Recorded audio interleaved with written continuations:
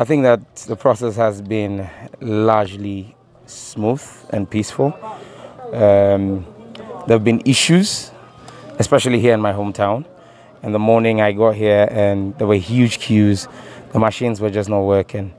Um, there were challenges with verification, both fingerprint, biometric, and facial, and even the manual verification. We, we had all of those challenges and we kept pushing. Um, we've tried largely to resolve the issues by trying to get the people to be calm. Um, there have been one or two issues here and there, one or two issues here and there, but largely it's been it's been okay. Turnout in some areas has been high, in some areas it's been average.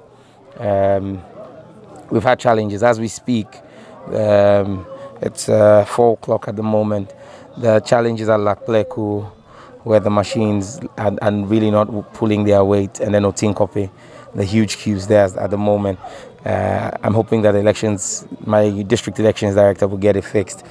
We've had issues of um, men in pickups and uh, vehicles running around.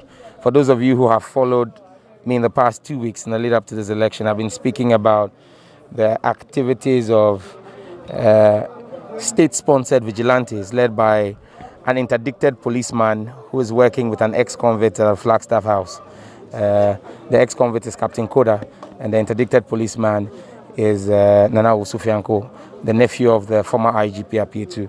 He's driving around the constituency with armed men, some of them brandishing sidearms, pistols.